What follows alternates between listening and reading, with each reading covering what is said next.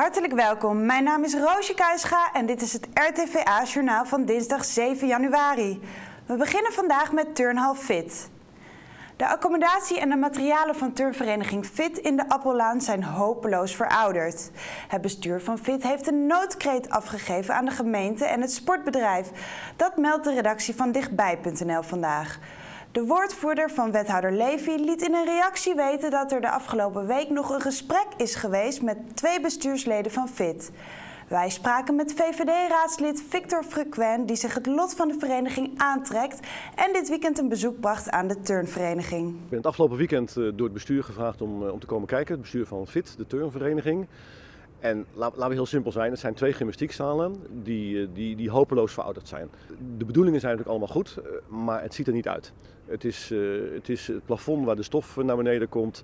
Uh, de matten zijn, uh, zijn, zijn gescheurd en zijn kapot. De touwen, daar mag je eigenlijk niet meer aan, aan hangen als, als, als, als, als, als sporter. De rekstokken zijn niet, niet goed. Waar ik zelf toch wel verbijsterd over was dat er geen douches zijn. Ik kan me niet voorstellen dat je een sportaccommodatie hebt waar, waar, je, niet kan, waar je niet kan douchen. En ik heb met moeite één wc gevonden waar ik dan eigenlijk ook liever niet wil, wil zijn. Dus het is zowel het gebouw als ook de, uh, de materialen, daar, daar kun je niet meer mee werken. Wiens verantwoordelijkheid is dit? De gemeente Amstelveen is eigenaar van het gebouw.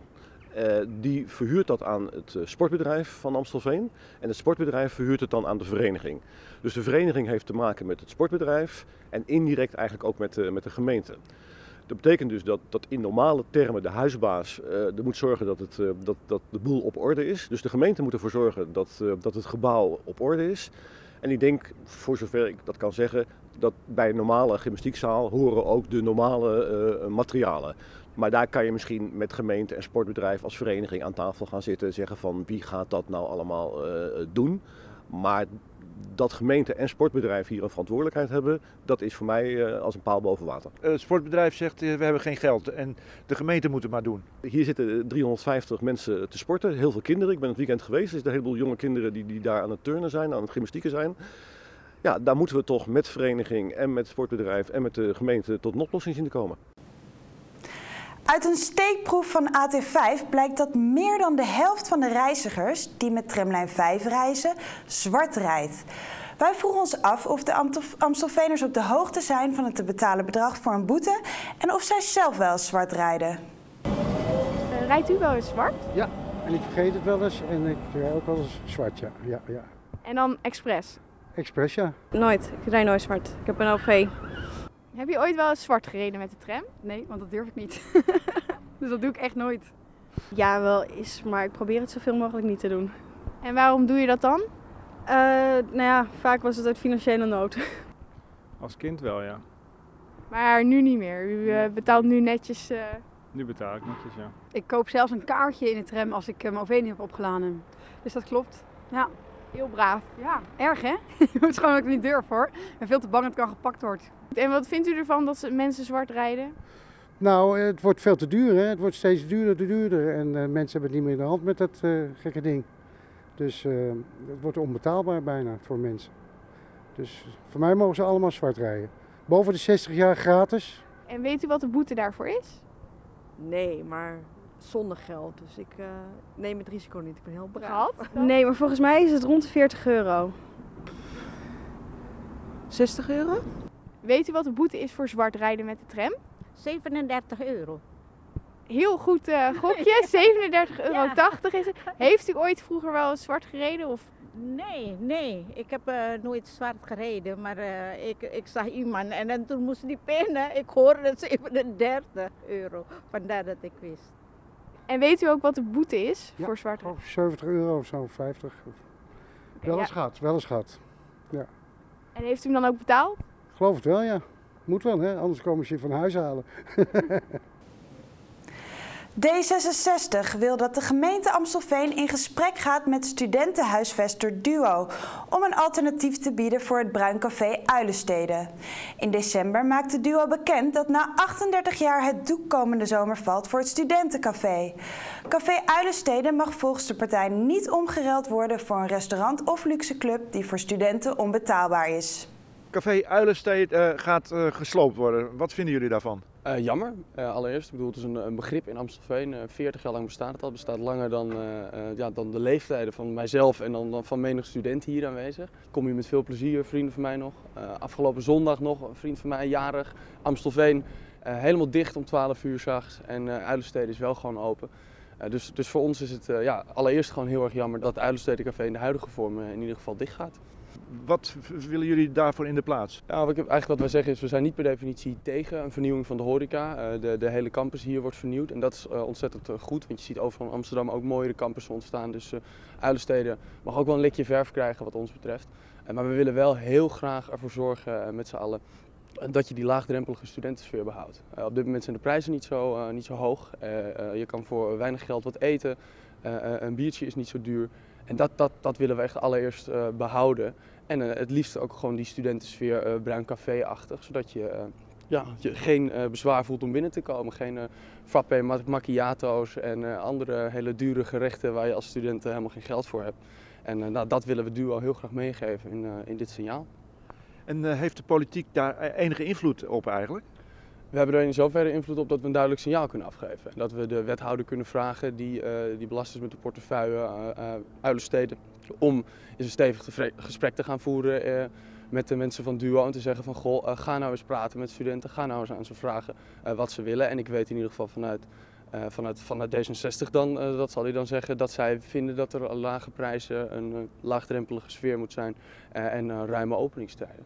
En dan, dan hopen dat dat duo denkt van, goh, wat een goed idee, dat gaat werken, dat gaat lukken, dit is wat studenten willen en dat is dus ook wat we gaan doen. Komend seizoen zal voetbaltrainer-coach Ruud Visser de zondag 1 van NFC gaan trainen. Visser, beter bekend als Mr. Roda, trainde voorheen bij Roda 23 in Bovenkerk. Wij vroegen om een reactie. U gaat uh, NFC trainen. Uh, waarom heeft u deze stap genomen? Een uh, jaartje niks doen, even afstand nemen. En uh, nu was het tijd uh, voor, uh, voor een andere club. En een aantal aanbiedingen, een aantal gesprekken gehad. En ja, NFC sprak mij het meeste aan. Wat verwacht u van het seizoen? Um, ja, ik, uh, het is nog een beetje wisselvallig uh, op dit moment. Uh, misschien dat ze dit jaar nog voor een na-competitieplek kunnen gaan. Dus eventueel kan dan de, de stap nog naar de derde klas worden gemaakt. U bent algemeen bekend natuurlijk in Amstelveen. Is het moeilijk om binnen Amstelveen van club te wisselen? vind ik niet hoor. Het, is, het heeft met emotie te maken. ik ben natuurlijk ja, bekend misschien bij de meesten als Mister Roda. Uh, ik ben nog steeds een Rodiaan uh, in mijn hart. Maar dat betekent uh, niet dat je niet bij een andere club kan werken. Wat voor spelsysteem wilt u gaan spelen bij NFC? nou, in principe wil ik ze aanvallend mogelijk spelen, maar ik wil ook reëel spelen. Mag u de eigen technische staf ook invullen? ja, ik heb geen, geen opdrachten gekregen om op een bepaalde manier te, vo te voetballen. we willen aantrekkelijk voetballen. het moet ook leuk zijn, ook voor mijzelf om te kijken. Met ingang van het nieuwe jaar staat sporten in de top 3 van goede voornemers. En dat is ook in Amstelveen goed merkbaar. Sportscholen in Amstelveen hebben het in januari drukker dan normaal. Maar de grote vraag blijft, hoe houd je dit het hele jaar vol? Merken jullie hier wat van de goede voornemens? Ja, zeker. Dat is elk jaar weer hetzelfde. Um, we moeten zeggen dat we zelf wel liever hebben dat mensen iets later beginnen. Want vaak mensen in januari beginnen, stoppen ook weer wat sneller. Dus uh, de mensen die echt goede voornemens hebben, beginnen vaak al voor januari of net ietsjes later. Ja, we hebben gezondigd in, uh, in de decembermaanden en nu weer uh, eigenlijk nieuwe voornemens hebben om aan de slag te gaan. Mensen die niet trainen, gaan weer trainen. Mensen die een tijdje niet getraind hebben, komen weer trainen. En de mensen die al trainen, en dat zijn eigenlijk de meeste, die gaan weer eens een keer vaker trainen. Dus drie keer in de week trainen wordt even vier keer in de week trainen. En dat duurt meestal een, een, een zes weken, acht weken. En dan zie je dat we ietsje afnemen.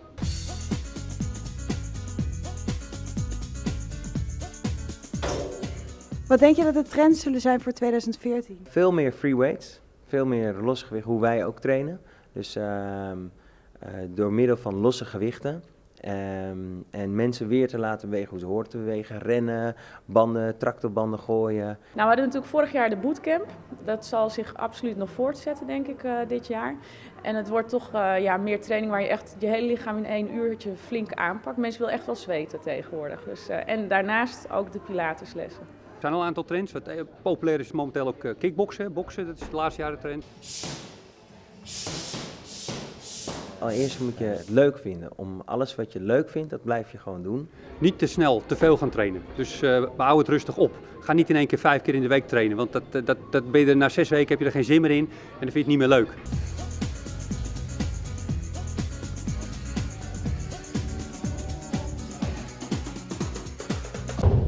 Wij proberen ze wel te motiveren om te blijven sporten, maar de meeste mensen die in januari beginnen, ja, beginnen ietsjes eerder. GroenLinks Amstelveen maakt zich zorgen over het klein aantal laadpalen voor elektrische auto's. Het aantal palen staat volgens de partij niet in verhouding tot het aantal auto's. Eerder waren 25 nieuwe laadpalen toegezegd, maar nu blijkt dat er maar 15 geplaatst zijn. Dit terwijl er een grote wachtlijst is. Kijk, wij vinden elektrisch rijden een goed schoon alternatief voor met de auto. Het is beter voor de lucht, minder geluid. Maar um, je hebt er wel een laadpaal voor nodig, want het is elektrisch. En wat je nou ziet is dat landelijk de verkopen van elektrische auto's drie keer over de kop zijn gegaan. Maar de hoeveelheid extra laadpalen maar een kwart meer zijn geworden.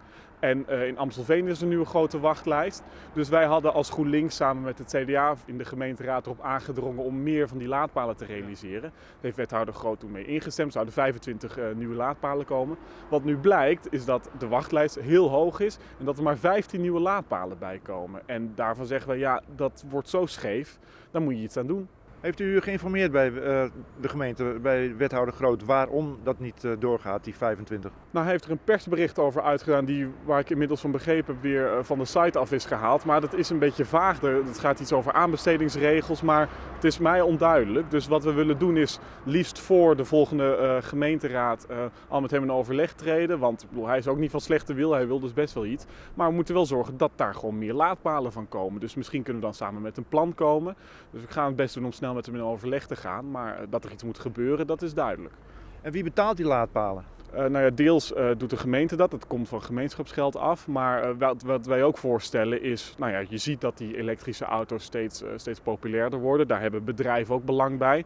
Dus dan mogen we van die bedrijven misschien ook een bijdrage vragen van... hé, hey, jullie willen elektrische auto's verkopen, wij hebben laadpalen nodig. Kunnen we niet kijken of jullie ook een bijdrage kunnen leveren? We hebben het bijvoorbeeld over Mitsubishi gehad, die heeft een hoofdkantoor hier liggen.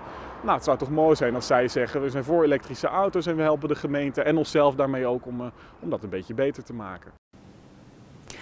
Op de website van de gemeente is te lezen dat er geen aanvragen voor de plaatsing van publieke laadpalen meer ingediend kunnen worden.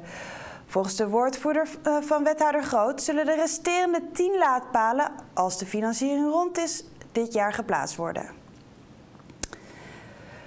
Burgemeester en wethouders willen op het kruispunt van der Hooplaan Sportlaan de verkeerslichten weghalen en een rotonde aanleggen. Bij de verkeerslichten staan tijdens spits vaak lange wachtrijen. Met de rotonde hoeven fietsers en voetgangers helemaal niet meer te wachten. Zij krijgen, net als op andere rotondes in Amstelveen, voorrang.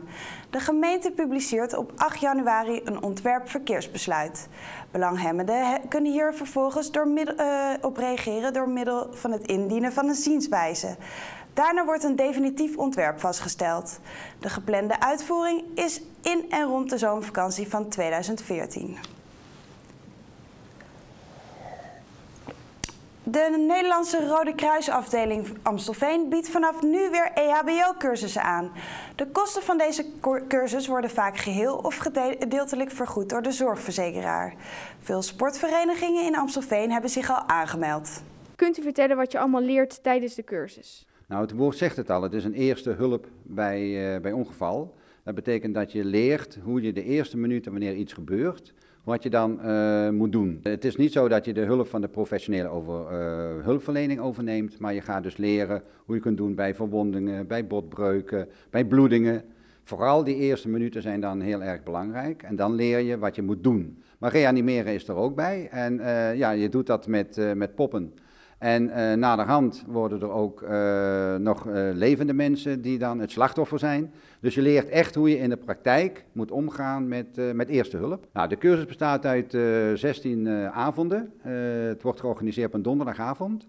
En het eerste gedeelte is vrij theoretisch, maar dat wordt met, met beelden en met poppen en met andere voorwerpen wordt dat uitgelegd. En het tweede deel, dan ga je gewoon aan de praktijk. Dus in feite is het theorie en praktijk per avond zodat je ook weet wat je moet doen, wat je in de theorie geleerd hebt. En aan het eind van de rit is er een uh, examen en dan kun je ook nog een echt diploma halen.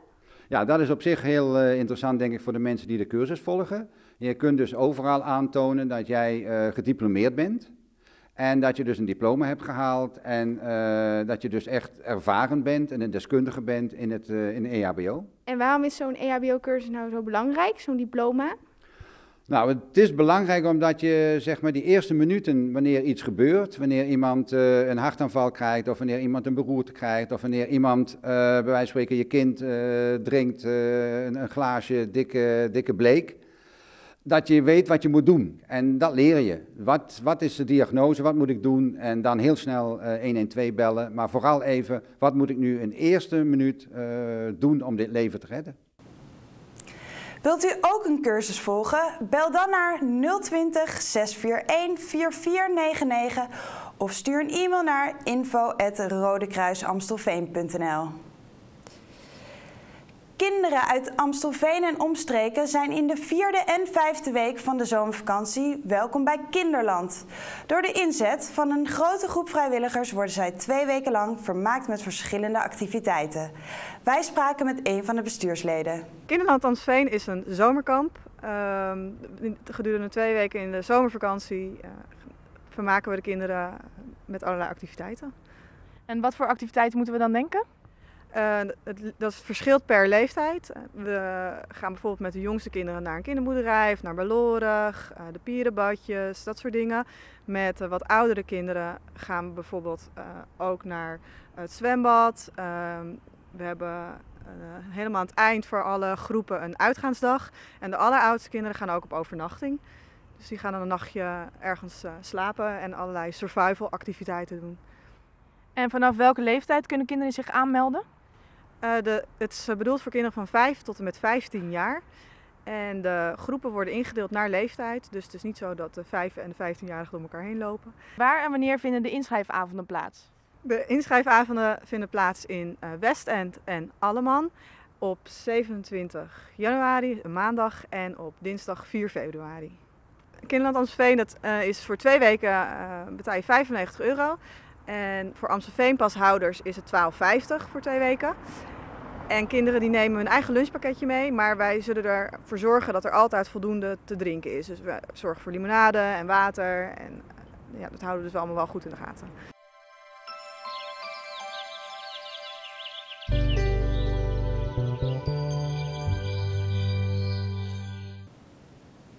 En dan nu het weer. Vanavond en vannacht is het bewolkt en kan er een bui vallen. Er staat een stevige wind en het wordt niet kouder dan een graad of 9. Morgen is het opnieuw bewolkt, maar het blijft droog. Met af en toe een zonnetje komt de middagtemperatuur uit op 11 graden. Ook donderdag wordt het 11 graden en is het bewolkt en regenachtig. Dit was het journaal van dinsdag 7 januari. We wensen u een hele fijne avond en hopelijk tot morgenavond 7 uur.